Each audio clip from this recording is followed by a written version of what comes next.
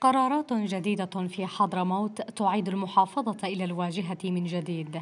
القرارات شملت تغييرات في المناصب عسكرية في المنطقة العسكرية الأولى، إضافة إلى تعيينات على مستوى وكلاء السلطة المحلية. قرار رئاسي أصدره رئيس مجلس القيادة رشاد العليمي قضى بتعيين العقيد الركن عامر عبد الله محمد بن حطيان أركان حرب المنطقة العسكرية الأولى إضافة إلى قرار آخر بتعيين العقيد الركن ناصر صالح محمد حسين الوادعي أركان حرب اللواء 135 مشاة.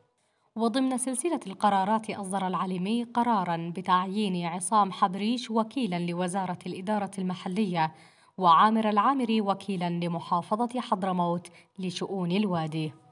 خلاف في الوسط السياسي الحضرمي عن ما إذا كانت القرارات تعد بمثابة تمكين للانتقالي أم كبح لجماح تحركاته في المحافظة خصوصا في الفترة الأخيرة بعد أن تزعم الانتقالي مسيرات ومطالبات شعبية بإقالة قادة المنطقة العسكرية الأولى.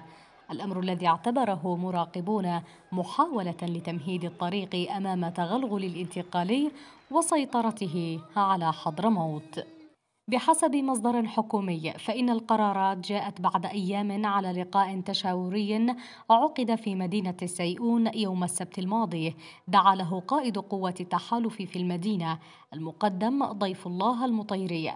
وضم قيادة السلطة المحلية وقائد المنطقة العسكرية الأولى وشخصيات سياسية وقبلية لتدارس المستجدات. ناشطين ووسائل إعلام تابعة للانتقالي شنت هجوما على العليمي.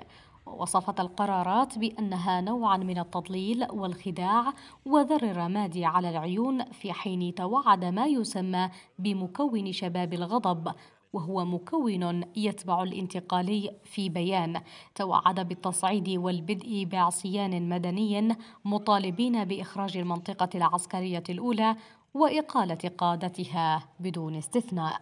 وبالنظر إلى المعطيات فإن الوضع في حضرموت لا يحتمل مزيدا من التصعيد خصوصا في ظل سعي بعض الأطراف لتفجير الوضع وإدخال المحافظة في نفق مظلم سبق وأن دخلته محافظات قبلها ولم تتمكن من الخروج حتى اللحظة.